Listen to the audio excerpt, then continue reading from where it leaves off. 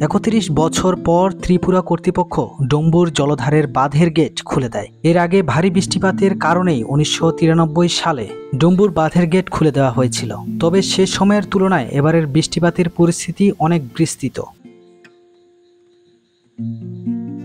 গত কয়েকদিনের বৃষ্টিতে ত্রিপুরার বিভিন্ন জায়গায় ভয়াবহ বন্যা দেখা দিয়েছে। ভারতীয় এই রাজ্যটির এমন কোনো সমতল স্থান নেই যেখানে পানি ঢোকেনি। এমন পরিস্থিতিতে বাঁধটি খুলে দেওয়ার প্রয়োজন ছিল বলে জানিয়েছেন স্থানীয় সংবাদ মাধ্যম বরক টাইমস। আর এই বাঁধটি খুলে দেওয়ার ফলে বিপদের সম্মুখীন হতে হচ্ছে বাংলাদেশের উত্তর পূর্বাঞ্চল বিশেষ করে ফেনী জেলার পরশুরাম, ফুলগাজী এবং ছাগলনাইয়া উপজেলার মানুষজনদের। হঠাৎ করে এই পানি বৃদ্ধি পাওয়ায় চরম দুর্ভোগের মধ্যে রয়েছে এ সকল এলাকার মানুষজন। রাস্তাঘাট, ঘরবাড়ি, ফসল জমি তলিয়ে গেছে।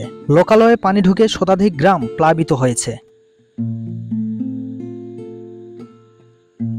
অন্যদিকে ভারত জানায় ত্রিপুরার গোমতী নদীতে ডম্বুর বাঁধ খুলে দেওয়ার জন্য বাংলাদেশের বন্যা পরিস্থিতির সৃষ্টি হয়নি। আজ বৃহস্পতিবার বাইশে আগস্ট ভারতের পররাষ্ট্র মন্ত্রণালয় এক বিজ্ঞপ্তিতে এ তথ্য প্রকাশ করেছে। বিজ্ঞপ্তিতে বলা হয়, আমরা বাংলাদেশে উদ্বেগ প্রকাশ করতে দেখেছি যে ত্রিপুরার গোমতী নদীর উজানে ডম্বুর বাঁধ খুলে দেওয়ায় বাংলাদেশের পূর্ব সীমান্তের জেলাগুলোতে বন্যার বর্তমান পরিস্থিতি সৃষ্টি হয়েছে। এটি বাস্তবে সঠিক নয়। আমরা উল্লেখ করতে চাই যে ভারত ও বাংলাদেশের মধ্য দিয়ে প্রবাহিত গোমতী নদীর অববাহিকা এলাকায় গত কয়েকদিন ধরে এবছরের সবচেয়ে বেশি বৃষ্টিপাত হয়েছে। বাংলাদেশে বন্যা মূলত বাঁধের নিচের দিকের এ বৃহৎ অববাহিকার পানির কারণে।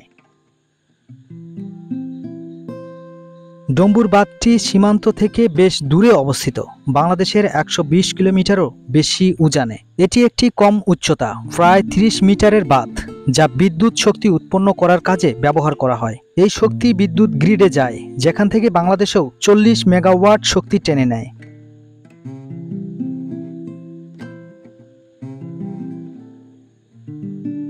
বিজ্ঞপ্তিতে আরও তথ্য প্রকাশ করা হয়েছে, তবে শেষের দিকে বিজ্ঞপ্তিতে বলা হয়েছে, বন্যা পরিস্থিতি নিয়ে বলতে গেলে ভারত ও বাংলাদেশের মধ্যে অভিন্ন নদীতে বন্যা একটি যৌথ সমস্যা, যা উভয় পক্ষের জনগণের জন্য দুর্ভোগ সৃষ্টি করে। তাই এর সমাধানের জন্য ঘনিষ্ঠ পারস্পরিক সহযোগিতা প্রয়োজন।